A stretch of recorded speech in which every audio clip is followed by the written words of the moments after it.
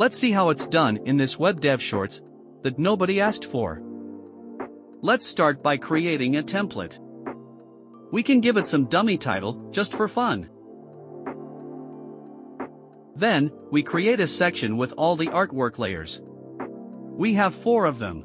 Also, we add the header text. Let's not forget to import the CSS file. We can add a second section for being able to scroll on the page and see the parallax effect. The template is ready, let's see how it looks so far. Ugly. We can now add some styling to make it looks gorgeous. Let's add some basic styling that you shouldn't really care. Then for styling the sections we will add the following. Relative position to cover all the absolute layers that we added. We center everything in the middle of the screen using flex. And we set the dimensions of the sections to fit the entire screen. Of course, overflow is not allowed here. Let's check what happened in the browser already. What is this? Let's add some more styling. Size and uppercase for the text. Finally, the text looks good. Now we can focus on the parallax section. We first add a nice background that will cover all the screen. Background OK. Let's remember that for the hero section, we added 4 images that when will be stacked, will give us a nice mountains landscape. We stack them by setting the position absolute for each of them and align to bottom and left.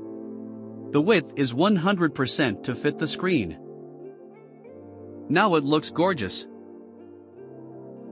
For the header text we set the relative position because, you'll see that in the script, we will play with the positioning so we need the relative position set here to enable the positioning properties.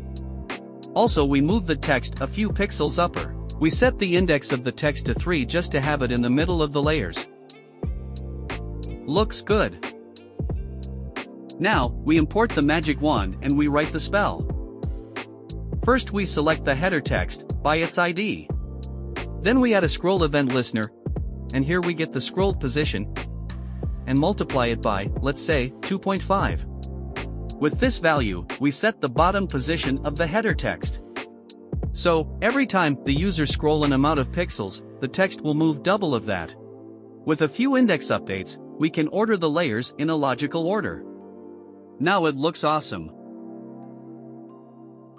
We can play with the rest of the forest layers. Voila! Give a like and subscribe if you want to be a multiverse boss. Thanks for watching.